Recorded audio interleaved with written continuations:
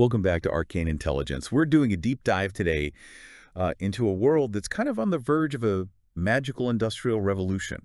Yeah. You know, like our own industrial revolution, but with wands and, you know, enchanted gadgets instead of steam engines. Exactly. And and one of the things that I think is really interesting is um, the idea that in this world, spells aren't just forces.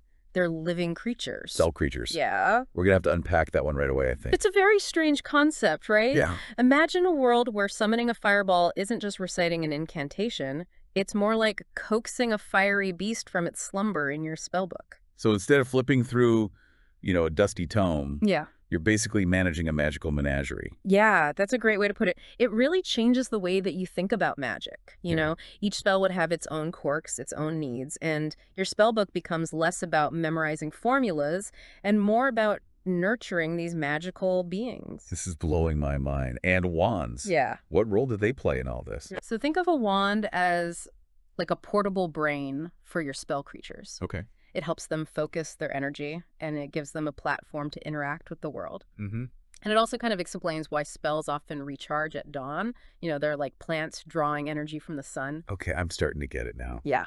So where are we diving into this spell creature-filled world? This uh this deep dive is taking us to Endon, Endon. a bustling city that's a whirlwind of innovation opportunity and maybe just a touch of magical mayhem. Okay, Endon. Yeah. Paint me a picture. What's it like? So imagine Victorian London, Okay. but vi- on fast forward with a healthy dose of magic thrown in. okay. The streets are alive with people from all walks of life, you know, drawn to Endon's promise of wealth and advancement. We're talking inventors, wizards, merchants, folks just trying to get by, all rubbing shoulders in a city that never sleeps. Sound like a melting pot of ambition and desperation, all fueled by this rapidly evolving magical technology. Yeah. The source material actually, uh, Skerples' Magical Industrial Revolution refers to this pace of change as tempo. Yes, tempo. It's like a measure of how quickly the world is transforming, how fast these innovations are coming. Hmm. And as the tempo increases, so do the stakes. High stakes, you say? Yeah, That's where things get really interesting for a deep dive. definitely. The source material mentions some pretty serious consequences of this magical industrial revolution, right? Oh, absolutely. okay. So Endon is a city of contrasts. You have the wealthy elite living in luxury while the poor struggle to survive in overcrowded slums, Okay. a byproduct of magical innovations like instantaneous architecture. Instantaneous architecture. yeah. So you're telling me they can just conjure up buildings out of thin air? Yeah, it's pretty wild, right? Sounds pretty convenient and potentially chaotic. It's both. Hmm. Think like portable rooms popping up everywhere, buildings merging unexpectedly. Wow. The source material mentions hidden industries operating in these conjured spaces too, maybe not all of them legal. It's a city where opportunity and danger are constantly intertwined. Okay, now I'm really intrigued. Tell me more about these innovations. Okay. What else is reshaping life in Endon? Well, we have teleportation circles that let you zip across the city in a flash. Sign me up. No more rush hour traffic. There's a catch, though. Oh, Frequent teleportation is weakening the barriers between Endon and a place called Elsewhere. elsewhere. Uh, it's like a parallel dimension. A parallel dimension. Yeah. That's giving me chills. So you're saying, while you might be able to avoid a traffic jam, you might end up face to face with some sort of interdimensional monster. It, it wouldn't be Endon without a little risk, right? Right. And then there's the boom in coal and iron production. That sounds familiar, kind of like our own industrial revolution. Except here, it's fueled by geomancy, which is a form of magic that manipulates the earth. Okay. So iron is abundant and cheap, which is leading to a surge in construction and industry, Mm-hmm. but it's also attracting rust monsters. Rust monsters. Are we talking giant metal-eating slugs? You got it. Every innovation comes with unintended consequences. Oh, yeah. And speaking of consequences, the source material hints at some seriously ambitious inventors pursuing artificial intelligence. AI. That's getting a little too close to home for comfort. They have these things called programmed golems and personal calculating golems, essentially magical computers, Okay. capable of pretty complex tasks. Yeah. But the real prize is the Omni Creator. Omni Creator. Sounds a bit ominous, doesn't it? It's a device capable of creating anything. Anything. Think about the implications of that. Yeah, it could yeah. revolutionize the world or destroy it. So we got spell creatures, interdimensional rifts, Yeah. giant metal-eating bugs, and a machine that can create anything. And this is just the beginning of our deep dive into Endon. We've only just scratched the surface. Okay, I'm ready to dive deeper, but before we do, let's take a moment to remind our listeners to like and subscribe to Arcane Intelligence for more deep dives into the world of tabletop role-playing games. We'll be back in a flash to explore the darker side of Endon, from its harsh legal system to the secrets hidden beneath the city. Welcome back to Arcane Intelligence. Before the break, we were talking about the you know, incredible and slightly terrifying innovations transforming Endon. But even in a city buzzing with magical progress, there's a darker side, right? Absolutely. Endon's legal system is a prime example. Imagine a world where stealing a loaf of bread could land you on the gallows that's Endon. Even minor offenses are met with harsh punishments. Wow, that's intense. Uh, And magic plays a role in law enforcement, too, I bet. Oh, definitely. The Coppers Endon's police force have some pretty interesting tools at their disposal. They carry these enchanted whistles that can do all sorts of things negate, magic call for backup, even paralyze suspects. Magic whistles. That sounds more whimsical than intimidating. Yeah. Don't be fooled. These whistles pack a punch, and the source material mentions they're experimenting with thought reading spells, too. Imagine the implications of that for personal freedom. It's like a magical surveillance state. Yeah. Makes you wonder if the benefits of all this innovation outweigh the potential for control and oppression. It's a question a lot of people in Endon are probably grappling with. And then there's the whole issue of the eight deadly sins. Yeah, the eight deadly sins. In Endon, these aren't just abstract vices. They're woven into the fabric of society. Oh, so we're not just talking about a few bad apples here. Not at all. Each sin has its own dedicated establishments and locations catering to those who want to indulge. You have gambling dens for greed, lavish brothels for lust gourmet, restaurants for gluttony, and so on. It sounds like temptation is everywhere in Endon. Oh, yeah. I guess that's part of what makes it such a compelling setting for role-playing games. Yeah. Players are constantly faced with moral choices. Exactly. Do they succumb to the allure of these vices, or do they try to resist them, and what are the consequences of their choices? The source material even provides a table of potential complications that can arise from indulging in each sin, Oh, really? like financial ruin, social ostracism, or even magical diseases. Magical diseases. Tell me more. Okay, so imagine getting hound tongue where your tongue grows to a ridiculous length, making it impossible to speak clearly, or migratory eyebrows where your eyebrows slide around your face like slugs. That's both hilarious and disturbing. I can only imagine the shenanigans players could get into with those kinds of afflictions. Oh, absolutely. And speaking of shenanigans, we can't forget about the season. The season. What's that? For six glorious months out of the year, the upper class descends upon Endon for a whirlwind of social events. Think grand balls, exhibitions, horse races, and enough political maneuvering to make your head spin. So it's like a giant party for the elite. More like a permanent family reunion with a lot more backstabbing and power plays. Intrigue and scandal at every turn. Sounds like a great opportunity for players to get involved in some high society drama. But beneath all the glamour and extravagance, there's a darker secret lurking in the shadows, right? The catacombs. Ah, yes. The catacombs, a sprawling network of tunnels and chambers beneath the city, filled with danger, forgotten lore, and the remnants of failed magical experiments. It's the perfect place for a dungeon crawl, wouldn't you say? Absolutely. I'm already picturing players venturing into the unknown, encountering bizarre creatures, and uncovering ancient secrets. Tell me what kind of challenges might they face in the catacombs? Well, the layout is constantly shifting thanks to unstable magic. One wrong turn could lead to a dead end, or worse, a hidden chamber filled with some monstrous creation.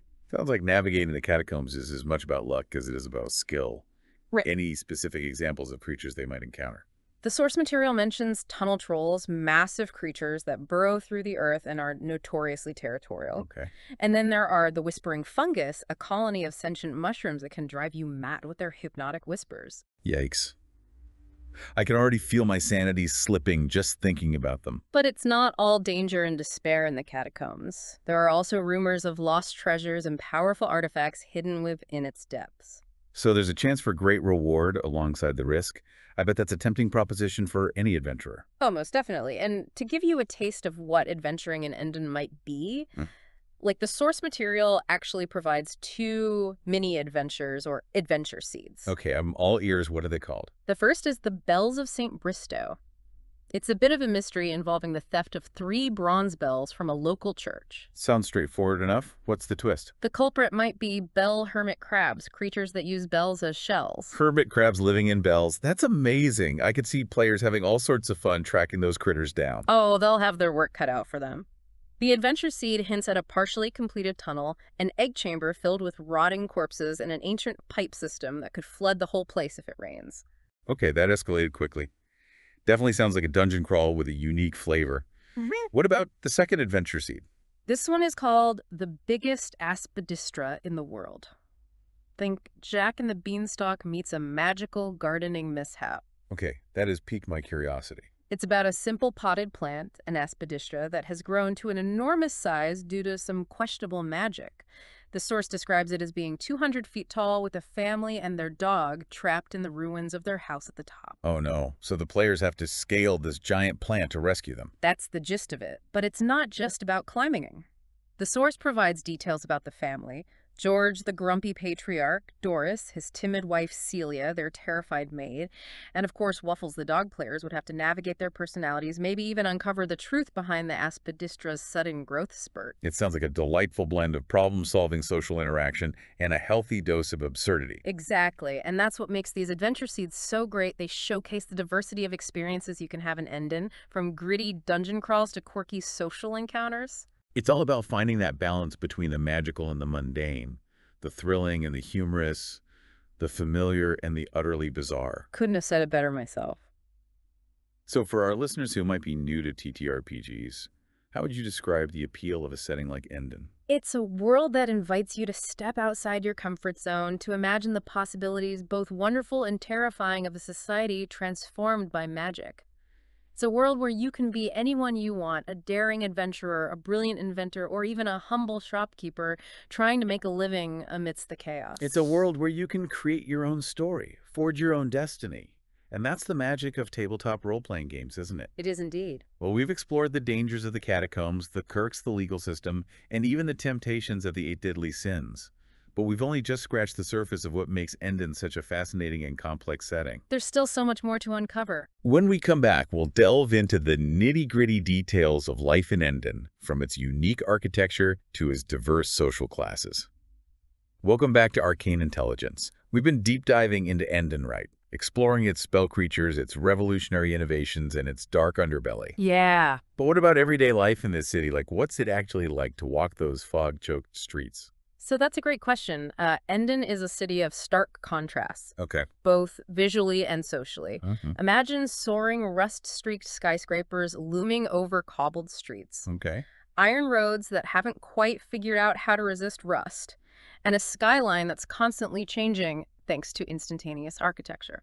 It's like they've mastered the magic of building up, but haven't quite gotten around to the magic of rust-proofing. Exactly. It speaks to the uneven progress of this magical industrial revolution, and that same unevenness plays out in the lives of Endon citizens. Okay. The source material goes into fascinating detail about the different social classes. Yeah. You have the poor struggling for every scrap, Right. living in the shadow of those opulent towers we talked about. Mm-hmm. Then you have the lower class, Okay. the workers who keep the city running, hoping for a bit of stability. It's like a magical reflection of our own industrial revolutions with, you know, progress and hardship. Yeah. Kind of existing side by side. And then you have the middle class, the strivers, the entrepreneurs caught between the old money and the new opportunities. Okay. They're the ones most likely to benefit from the innovations, Yeah.